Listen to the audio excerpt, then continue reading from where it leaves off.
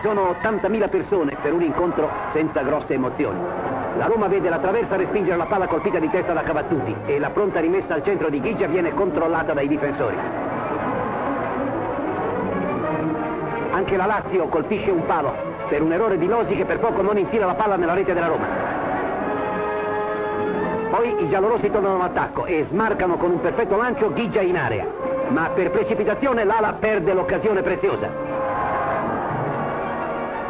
Nella ripresa una sola parata difficile per il portiere romanista che si tuffa con audacia sul pericoloso pallone.